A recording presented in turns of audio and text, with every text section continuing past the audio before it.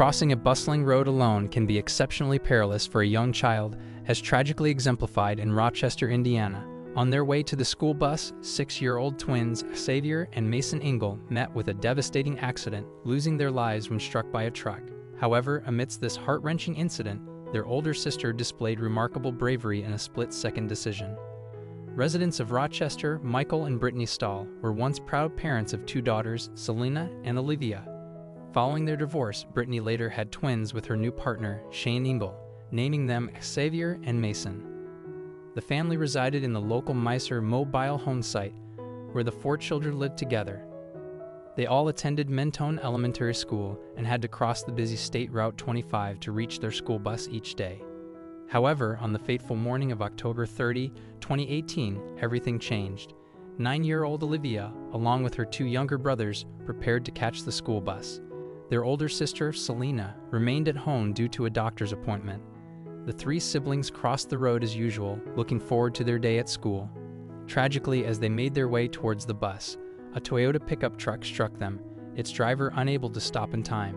Olivia, Xavier, and Mason lost their lives in the collision, and another child, Maverick Lowe, suffered severe injuries. In the aftermath of the tragedy, the children's uncle, Elgin Ingle, made a heart wrenching observation. Olivia held their hands while crossing to the school bus every day, he told local station WRTV News in October 2018.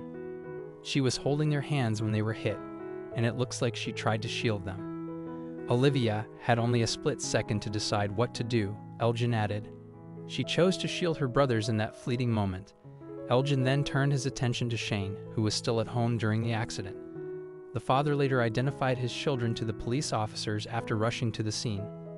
Shane didn't lose just one child, Elgin told ABC News. He lost all his children. How do you console your little brother and tell him it will get better? You can't. My brother, the most loving man in the world and the best father I've ever known, is now a father to no one. As the police initiated their investigation into the accident, Elgin spoke fondly of his niece and nephews. Once she got past their shyness, the two boys were bundles of energy, he recalled to WRTV. They were constantly happy, full of life, and incredibly active boys embodying the spirit of American youth.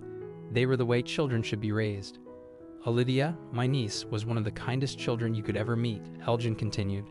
Nothing could deter her. She set goals and pursued them relentlessly. She was helpful and attentive to the needs of others, an ideal child in every sense. Meanwhile, it became evident that residents of the trailer park had previously raised concerns about the school bus route. They had submitted a request to the local school corporation urging a change in the route to avoid children having to cross the dangerous street. This had been a recurring issue. Elgin told ABC News parents had voiced their concerns to the school about the need for change.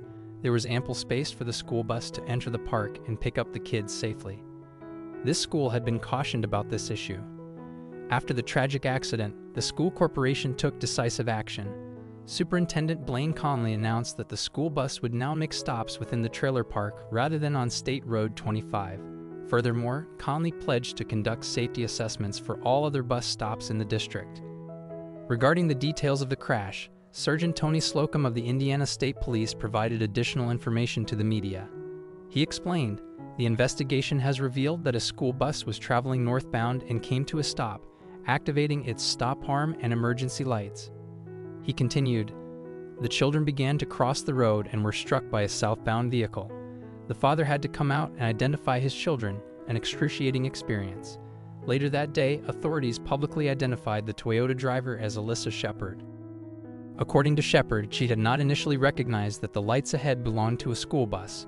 By the time she realized it, Olivia, Xavier, and Mason were already crossing the street.